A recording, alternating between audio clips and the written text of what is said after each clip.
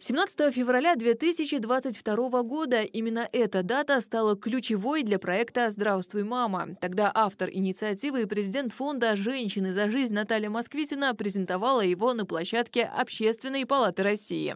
Затем начались первые этапы реализации. Совсем не случайно пилотным регионом стала Мордовия. В республике уделяется огромное внимание теме материнства и детства, улучшению демографических показателей. Поэтому проект в Мордовии встретили очень тепло.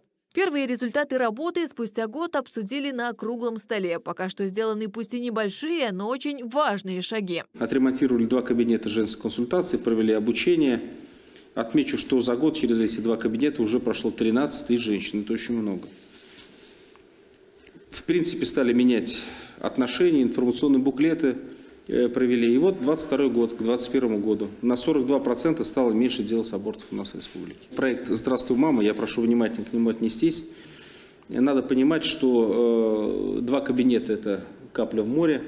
Вот по нашему плану нам надо сделать ремонт еще в 20 кабинетах. Еще одна первоочередная задача – организация работы специального штаба. Главная задумка проекта в совершенно новой философии заботы о материнстве, где беременной женщине начинают уделять должное внимание с самых первых дней особого положения. В концепции проекта прописан единый регламент общения врача с пациентками в основе доброта и максимальная поддержка. Кроме того, каждой будущей маме презентуют специальную папку, в ней небольшие подарки, полезная информация для женщины, а еще пинеточки для малыша. Вы знаете, это настолько здорово, это даже не столько вот э, что-то материальное, а, в чем нуждается, это как комплимент женщине, подарок за то, что она решилась стать матерью. Врач выдает буклет со всеми видами помощи на региональном и федеральном уровне.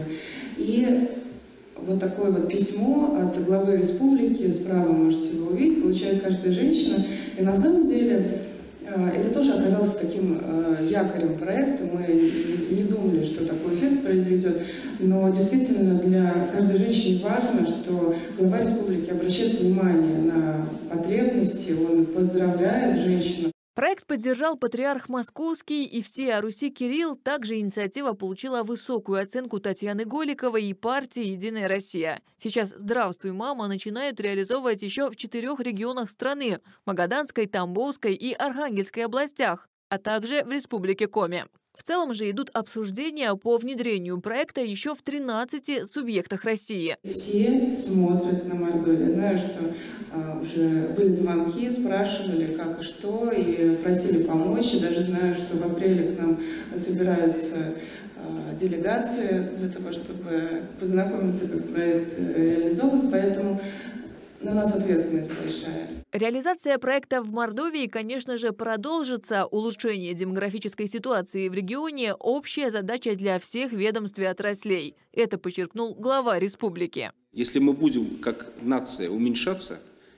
и э, семьи не будут расти, э, семьи будут распадаться, детей перестанут рожать, мы, значит, вообще не тем занимаемся. Все вместе, кстати. Вообще не тем, значит, занимаемся. Не туда деньги мы вкладываем. Поэтому хотелось бы видеть конечный положительный результат.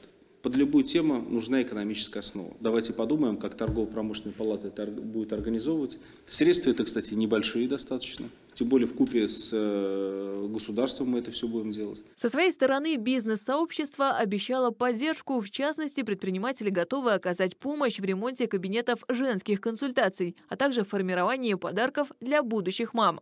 Важность проекта для региона отметили и представители конфессий. Они также будут всячески помогать в его реализации.